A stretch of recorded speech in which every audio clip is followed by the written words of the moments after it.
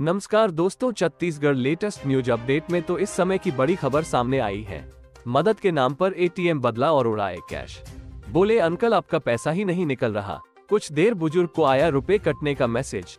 सरगुजा ज़िले में ठगों ने मिलकर एक बुज़ुर्ग के साथ ठगी कर ली। पहले मदद के नाम पर उससे उसका एटीएम लिया, फिर उसे बदल लिया। इसके बाद उससे कहा कि, अंकल, आपके पैसे नहीं निकल रहे हैं। ये सुनकर बुज़ुर्ग तो चला गया। बाद में उसे मैसेज मिला कि अलग अलग बार में उसके खाते से पैसे कट गए हैं।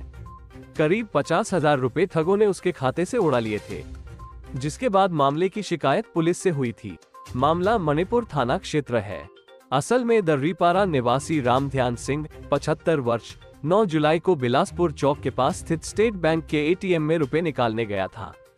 प्रोसेस करने के बाद भी एटीएम से रुपए नहीं निकला तो वहाँ पहले से मौजूद दो युवक वृद्ध की रुपए निकालने में मदद करने के बहाने पहुँचे।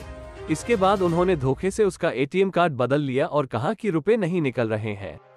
फिर दोनों ने बुज़ुर्ग को वहाँ से भेज दिया। इसके कुछ देर बाद अलग अलग ट्रांजैक्शन के माध्यम से पचास हज़ार सात सौ पचपन रूपए वृद्ध के खाते से निकाल लिए। रुपए निकलने का मैसेज देख वृद्ध के होश उड़ गए। वो तत्काल मणिपुर थाने पहुँचा और मामले की रिपोर्ट दर्ज कराई आसपास लगे सीसीटीवी कैमरों की जाँच की गई। जाँच में पता चला कि आरोपी सारंगढ़ में है। इसके बाद पुलिस ने मौके पर दबिश दी और दोनों को गिरफ़्तार कर लिया। पूछताछ में दोनों आरोपी ने अपना नाम धीरू यादव और असलम अली बताया है। दोनों अलग अलग राज्य के रहने वाले हैं। पुलिस ने बताया कि दोनों आरोपी काफ़ी शातिर हैं। कार से घटना को अंजाम देने विभिन्न शहर में पहुँचते थे और काफ़ी कम चहल पहल वाले स्थान पर लगे एटीएम कार्ड को अपना निशाना बनाते थे।